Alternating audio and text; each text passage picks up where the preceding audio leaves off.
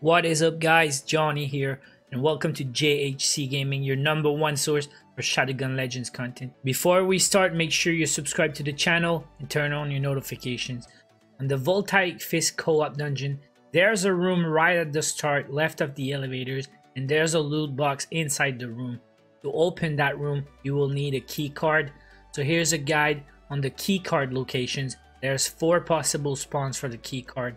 The first key card will spawn right at the start after you activate lock B. It will be right there on the crate. Right after you go down the elevator in this room where you can actually hack the console, the key card can spawn on these boxes at the other end of the room. The third location is after you open that door to the spillway. You will look at the left on these crates the key card will be right there. The last location is in the room where you activate lock C. It will be right there on the left on a crate. So that's it for now. Hope you guys enjoyed the quick guide. Hope you guys will get some great loot in the box. Thanks for watching. If this guide was helpful, make sure you leave a like, subscribe to the channel, turn on your notifications, watch my other videos, and I will be back soon. Bye bye.